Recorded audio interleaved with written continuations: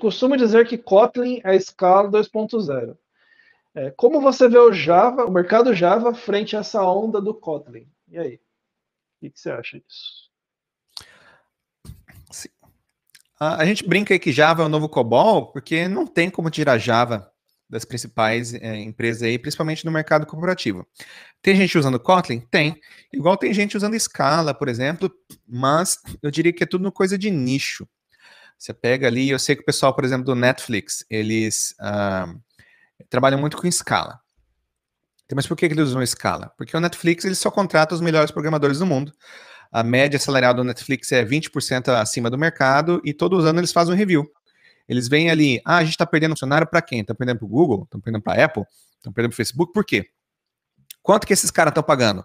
Ah, estão pagando X. Ah, a gente tem que pagar no mínimo 20% a mais do que eles estão pagando para poder reter esses talentos. Então, que trabalha com Kotlin, tem lugar que está trabalhando? Isso no mercado corporativo, né? Tem.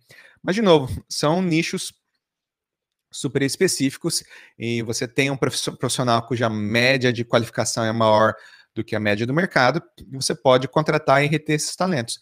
Agora, para a grande maioria das empresas do mercado corporativo, você tem negócio, ah, eu quero mexer com Kotlin porque tem certas vantagens em relação a Java, que eu não nego como linguagem, tem uma série de funcionalidades que são bastante atrativas. Ah, mas vou, vou conseguir contratar? Se eu treinar, vou conseguir manter esse pessoal? Consigo esperar a ponto de, ah, vai levar um ano para o pessoal ficar no mesmo nível de Kotlin que eles tinham em Java. Será que eu tenho tempo para esperar esse pessoal atingir o mesmo nível de proficiência?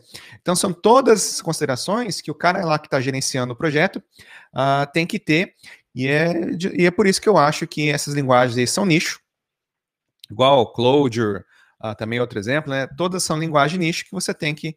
E na, mas para a grande maioria das empresas, que Java acaba sendo a decisão mais acertada.